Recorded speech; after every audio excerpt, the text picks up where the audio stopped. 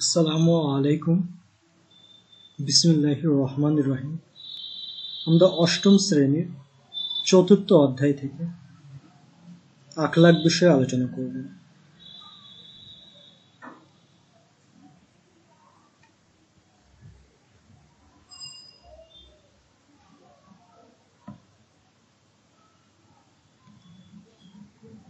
চিত্রতে আমরা ভ্রাতৃত্বের বন্ধন, ইসলামী ভ্রাতৃত্ব নারীর মর্যাদা, সমাজসেবা, প্রভৃতি বিষয়ে দেখতেছি। এই চিত্রতে আমরা মারামারি, হানাহানি, চুরি, পরশ্রী কাতরতা, অশ্লীলতা, ঘুষ প্রভৃতি বিষয়ে দেখতেছি। আখলাক কি মানুষের দৈনন্দিন কাজকর্মের মধ্য দিয়ে যে আচার আচরণ ও স্বভাব চরিত্রের প্রকাশ পায়, তাকে আখলাক বলে। আখলাককে আমরা দুই ভাগে ভাগ করতে পারি। আখলাকে হামিদা, যেটা প্রশংসনীয় আচরণ। আখলাকে জামিমা, যেটা নিন্দনীয় আচরণ।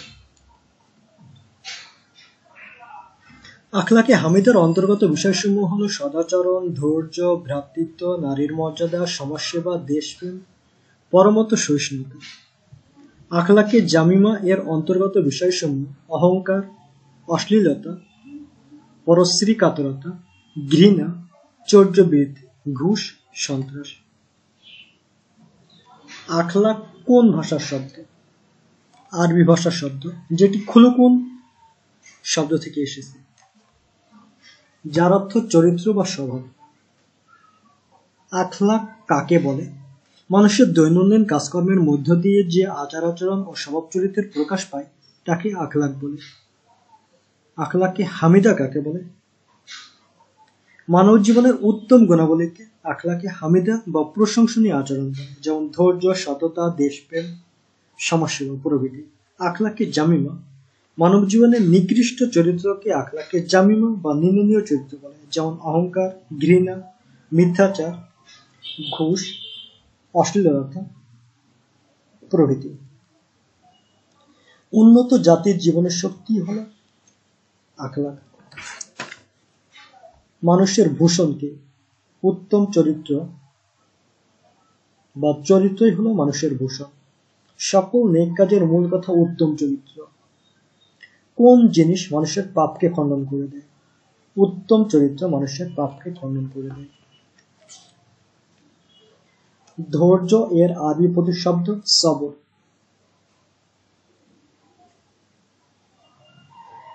ইসলাম শরীয়তের পরিভাষায় জীবনের সকল ক্ষেত্রে মহান আল্লাহর উপর ভরসা করে সহিষ্ণুতার সাথে আল্লাহর বিধান মোতাবেক সকল কর্তব্য পালন করাকে ধৈর্য বলে। কোরআন হাদিসের আলোকে ধৈর্য বিশ্লেষণ করলে তিনটা দিক স্পষ্ট হয়ে ওঠে। অবৈধ হারাম বস্তু থেকে নিজের নফস প্রবৃত্তিকে বিরত রাখতে ধৈর্য ধারণ করতে হবে। আল্লাহর ইবাদত আনুগত্যে ধৈর্য ধারণ করতে হবে। যে কোনো বিপদ আপদে ধৈর্য ধারণ করতে হবে। ধৈর্য মানব জীবনের সফলতার চাবিকাঠি। ধৈর্য বিপরীত অধৈর্য। অধৈর্য মানুষকে ব্যর্থতার দিকে ঠেলে দেয়। হজরত আলাইসাল্লাম কঠিন, দুরারোগ্য ব্যাধিতে আক্রান্ত হয়েছিলেন। জালিম শাসক নমরুদের বিরোধিতা করায় কোন নবী অগ্নিকুণ্ডে নিক্ষিপ্ত হয়েছিলেন? হজরত ইব্রাহিম আলাইসাল্লাম কোন নবীর দেহে পচন ধরেছিল? হজরত আইব আলাইসাল্লাম কোন নবীর শরীর থেকে গোস্ত খসে পড়েছিল? আইব আলাইসাল্লাম শরিয়াতের বিধান পালন করতে ধৈর্য প্রয়োজন। উখট শব্দের আবিধানিক অর্থ ভ্রাতৃত্ব। ভ্রাতৃত্ব কাকে বলে? পরস্পরের মধ্যে হৃদ্রতা ও আন্তরিকতার সম্পর্ককে ভ্রাতৃত্ব বলে। ভ্রাতৃত্বকে কয় ভাগে ভাগ করা যেতে পারে ও কি কি? ভ্রাতৃত্বকে তিন ভাগে ভাগ করা যেতে পারে। ঔরস্যজাত ভ্রাতৃত্ব, বিশ্ব ভ্রাতৃত্ব এবং ইসলাম ভ্রাতৃত্ব। ঔরস্যজাত ভ্রাতৃত্ব, একই পিতার ঔরসে বা একই মায়ের গর্ভে জন্মগ্রহণ করার কারণে যে ভ্রাতৃত্বের সৃষ্টি হয় তাকে ঔরস্যজাত ভ্রাতৃত্ব বলে। পৃথিবীর সকল মানুষ, পৃথিবীর সকল মানুষের আদি পিতা হজরত আদম আলাইসাল্লাম আদিমাতা হজরত হাওয়া আলাইসাল্লাম এ কারণে বিশ্বের সকল মুসলমানই ভাই ভাই। রসুল সাল্লাহাম বলেছেন, তোমরা প্রত্যেকেই আদম আলাইসলাম হতে এবং আদম আলাইসলাম মাটি থেকে বুখারি শরীফ থেকে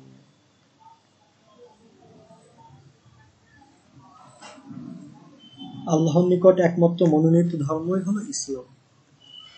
ইসলামের মূল কথা বা মূল বাণী আল্লাহ ছাড়া অন্য কোনো মাহবুদ নেই। হজরত মোহাম্মদ সাল্লাহ ইসলাম আল্লাহ তাল্লাহ রসুল। নিশ্চয় মুমিনগণ ভাই ভাই সুরা হজরত, আয়াত নম্বর দশ। আল্লাহ তালা বলেন,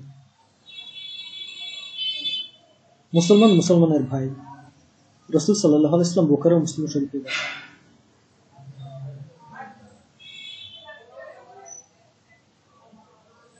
পৃথিবীর সকল নরনারী কাদের থেকে সৃষ্টি? আদম ও হাল ইসলাম থেকে। ইসলামের নরনারী উভয়ের মর্যাদা সমান।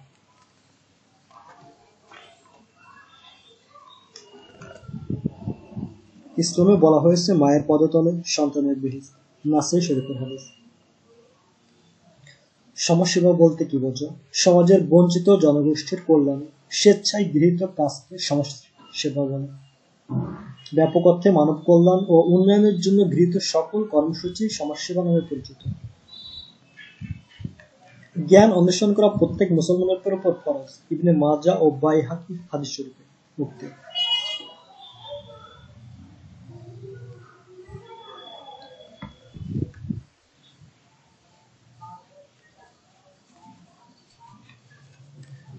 সমাজ সংশোধনমূলক প্রতিটি কার্যক্রমই সমাজসেবার অন্তর্গত। ফিতনা বা বিশৃঙ্খলা, হত্যা অপেক্ষা গুরুতর। সুরা আল বাকারা আয়াত নম্বর একশো একানব্বই।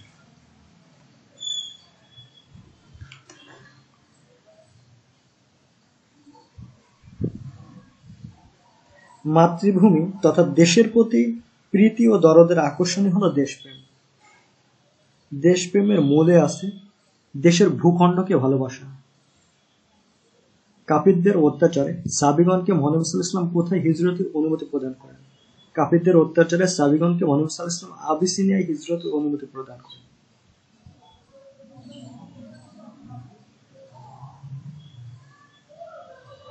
মদিনায় হিজরতের পর হজরত আবু ও হজরত বিলাল রাদিয়াল্লাহু তাআলা কঠিন জ্বরে আক্রান্ত হন।